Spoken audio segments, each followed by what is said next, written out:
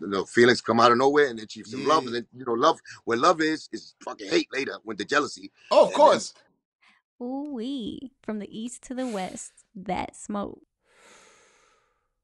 So you and um, Angie were close before you and Joe were close, then, right? Like you was the of one that course, brought that relationship together.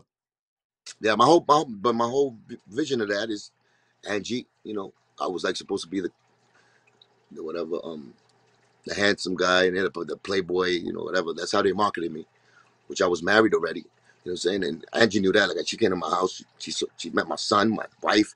We played fucking uh, you know, uh, dominoes together, Monopoly. You know, board hmm games. You know how we used to do back then. Oh, And, damn, you know, with the family. close, huh? I went to our house. I spent the night. You know what I'm saying? On some cool shit. Never had no sex or nothing. But I think she wanted more than that from me.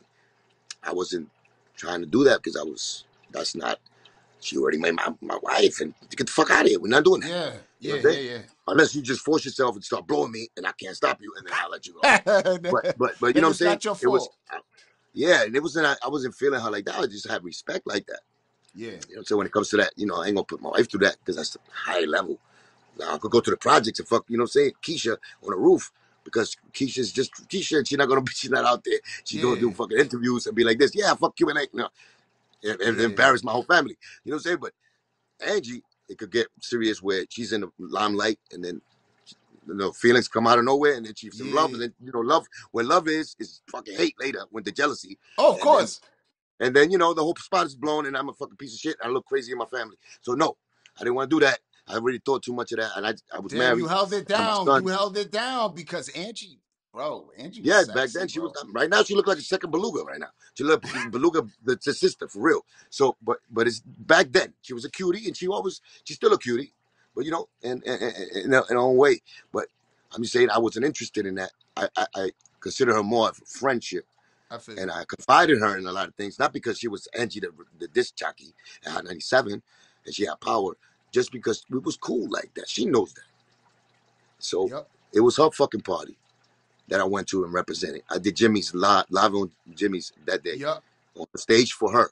I didn't get paid or nothing. I, I- you know, I wrote that Jimmy's fucking song for her and for her album. You know what I'm saying? I was there to be helpful as a friend. We chilled on some regular bowling shit, cool house shit, regular love. So then when the situation happened, okay, I- you know, she knew exactly what happened. She know that Joe is the one who swung on me. He, he swung on the other person first. I was hmm trying to stop the fight. He swung on me. He's in your party, disrespected your party, your album release. Yeah, I mean, if it's you know that's my album release, he's the nigga who initiated your fuck up.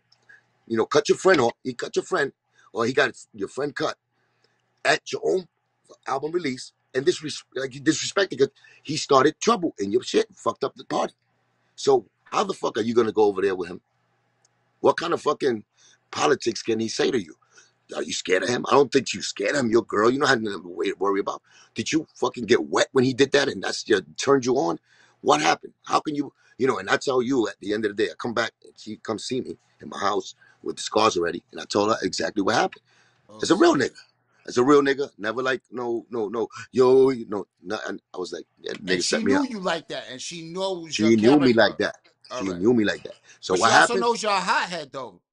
That you like to swing She knows I'm a hothead, but she also knows that it doesn't matter if you're a hothead. I'm your friend, right? I didn't start Facts. nothing. I'm, No, if you you know the facts, the fact is that I tried to stop a fight. How the fuck is that a hothead? No, no, I'm no. trying to What I'm stop a trying to fight. say is, you know how reputations Yeah, are. You we, know what I'm you know I'm saying? a hothead, but not, but not Yeah. in that part. I would never But disrespect you. or fuck up your party. That's what I I was not gonna fuck up say. your party. So Yeah. it's it's something like you know, if it wasn't our party, I understood, but it was her party at Jimmy's. hmm It was her lit. It was her album release that I came to represent for. That Joe supposedly I came to represent for. And then you try to tell me that I wouldn't get mad at the fact that Joe fucked up my party when he, if that's course. true, but y'all could have y'all could have took that outside and respected me. You understand? Yes. So so at the end of the day, you did it at her party, you fucked up a party, it don't matter. Later on, a week later, she has him on Hot 97 and he's telling the story to his way. Oh, so She she does she never She didn't. she never gives me the shot to do that. And I'm her friend. She never gives me the shot And y'all was like this. get on. Exactly. She was just at your house. Exactly. Wow. She, exactly. And she never got fucking interviewed about this. Never. Why? They're directing the traffic. It's, it's, it's deliberately. bro, It's just put me deliberately. onto It's something that I she's a main key. She's a main key. Like you could go. Uh, you know, I want. I want to see the date. Somebody ask her. Maybe Panda. Fucking chop, chop her down and go. Maybe if he catches one day, she could ask him, do an interview with her, and ask him, how do you feel knowing that that happened at your party? All the facts that happened at your party. Cuban went to represent you. Uh, he performed for you. You was a friend before Joe was even closer with Cuban. I mean, with, with with you, and you gave Joe an opportunity to say his story on your show on Hot 97, and then never ever give Cuban the opportunity to say his side. But yet you could brag about Pac and Biggie, but you letting Pac's part out and, and representing the side of both, artists. Like you are this mediator when you didn't do that with Cuban. What was the difference between Cuban and Pac? Cuban and Biggie. That's the artist. And I was closer to her than than than Pac and Biggie was ever. But you don't give that nigga a check. So do you understand how I feel? I see what you're saying. And that Cause was it, the it first one. That was the first one that helped. She helped him become, you know what I'm saying, a little more powerful and blackballing me. Because she already you. he did So that. the black ball was already in, And then with her, in, the course, works. with It her was already in the works. with her with comes you. Sean Peka. With her comes Sean Peka. With her comes uh, DJ Enuff, Camilo, all of them. There was a, co- a conglomerate together. That's a whole 197 staff. That's Yup. DJ Kay Slay, all of them. So now I'm blackballed in the whole shit without nobody knowing. Now you From done. back then. Yeah. Understand? But they kept it quiet. They act like it don't got me from me. What's up, my nigga? We know. I know what's going on, nigga. I know. Yeah. And she's a big You know, voice. She's a big of voice. Like she's powerful. Her father, She's her father was definitely a disc jockey, nigga. Her- She had bloodline. The bloodline goes deep. Yeah. So she big. She big. So that's what I'm Damn. saying. These are the people that I had against me, and they usually was my people that was with me. Supposed to be helping Wow. my, me as friends. They're You know, we're supposed to help each other. so This is that's crazy. crazy, bro. Nah, that that's crazy. Like Yeah. for Well, somebody to be that- so that's why I'm acting crazy now. That's why you see me like, you know, niggas calling me crackhead and all this because I'll be fucking this fast and this, and I'll be like this.